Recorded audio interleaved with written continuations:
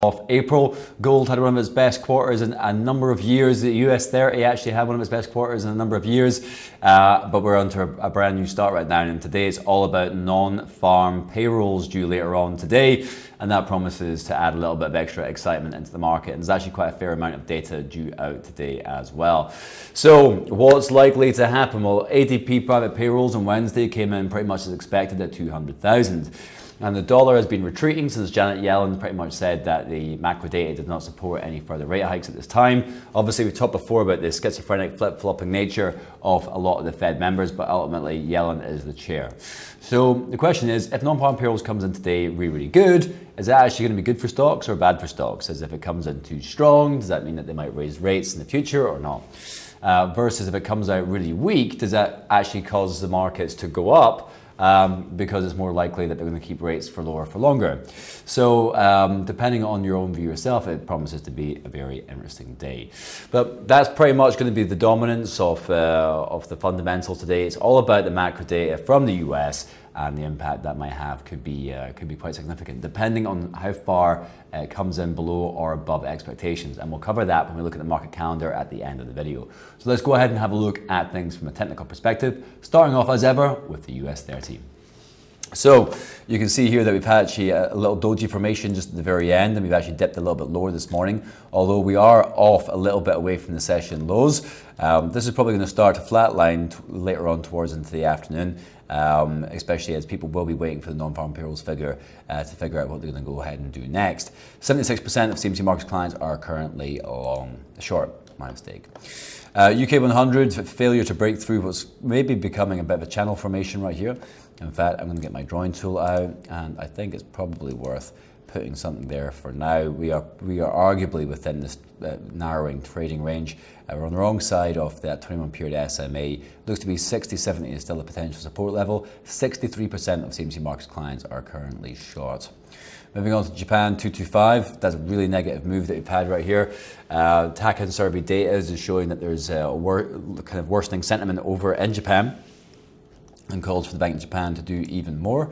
Uh, very negative candle right there. We've smashed through 16,384. Next potential support would be the tips of these candles, but the longer term potential support would be down at 14,671. We're below both moving averages. Uh, we've got a negative crossover on the MACD, and everything else is trending down. 93% of CMC Markets clients think this uh, move potentially is overdone because currently a net long position building.